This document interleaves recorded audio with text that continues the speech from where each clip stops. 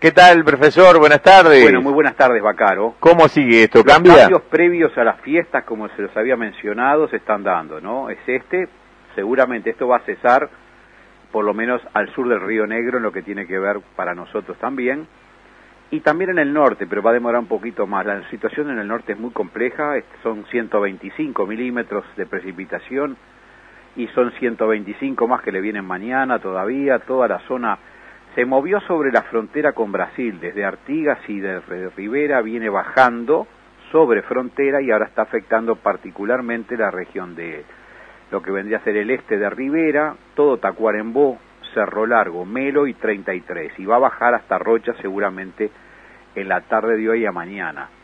Esta situación del norte es bastante compleja porque sigue siendo reiterativo que precipite en esos lugares y eso implica acumulamiento de muchos milímetros de lluvia, más allá, o por lo menos además de la precipitación que viene eh, por escorrentía, ¿no? Porque todo lo que llueve en el sur del Brasil que viene bajando por los afluentes sobre nosotros, ¿no? Esa situación del norte es muy compleja. No obstante, nosotros estamos ahora en la mitad del fenómeno. Tuvimos 75 litros por metro cuadrado que cayeron ayer, en parte de la madrugada de hoy allí, fue ya lluvia fuerte debido a la tormenta eléctrica, cumulonimbus sobre la sierra, descargando muchos volúmenes de lluvia. Unas, nubes de desarrollo vertical, como todos lo conocemos, y que progresivamente se fue yendo hacia el este-noreste. Ahora estamos con un cubierto, hay una llovizna débil por momentos intermitente que aparece allí, hay 25 de temperatura y hay prácticamente 21 de punto de condensación, por lo tanto está prácticamente saturada la masa de aire de vapor hay más de un 85% de humedad y la presión es baja, 1007 hectopascales, lo cual significa que continúan las lluvias. El viento tiene componente del noreste a 13 kilómetros en la hora y yo pienso que en lo que resta de la tarde de hoy va a precipitar en la tarde con mejoras en el medio y yo pienso que ya sobre el enfriamiento de la puesta de sol, después de las 19 horas allí, empezamos este a, o por lo menos deja de precipitar con un cielo que va a permanecer cubierto no obstante ello, eh, los fenómenos se reiteran todavía en el día de mañana miércoles, ¿no?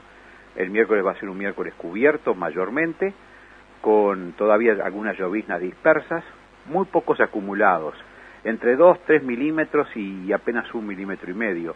Y en las horas claves, ¿no? Entre las 7 y las 10 de la mañana, después sobre las 3 de la tarde hasta las 7 por allí, eh, es eh, la oportunidad en que mañana miércoles pueda haber esa llovizna dispersa e intermitente. La temperatura no va a cambiar, por el contrario, eh, temperatura en ascenso para mañana casi 28 29 de máxima seguramente, con una mínima que se va a estar dando sobre la madrugada de ellos, o por lo menos sobre la, la madrugada del día de hoy y el día de mañana, de unos 20 21 grados, o sea que es una noche complicada, muy húmeda, con esas precipitaciones, en fin, es este, bastante molesto esto. Pero bueno, es el miércoles así, para un jueves donde ahí sí mejoran las condiciones del tiempo, como lo habíamos este, estimado, el jueves y el viernes, libre de precipitación y se va a ir sumando progresivamente este, el norte del país. Así que entonces eh, esperamos un descenso de temperatura a partir del día jueves, ya en la noche del día miércoles, y eso es debido a un, a un, vientito de componente sur que se va a ir llevando toda esta nubosidad mañana miércoles en la tarde-noche.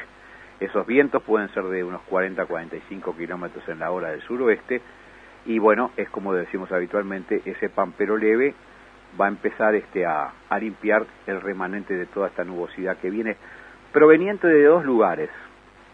Toda esta inestabilidad ha ingresado por el noroeste, viene desde el Paraguay hacia nosotros y gran parte de ello venía de sobre la provincia de Buenos Aires.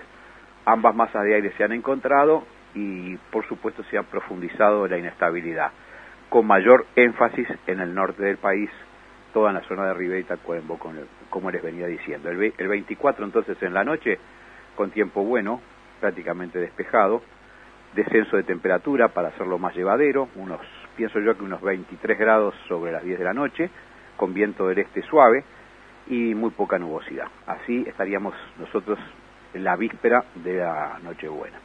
Gracias, profesor. Hasta mañana. Hasta mañana, Bacaro.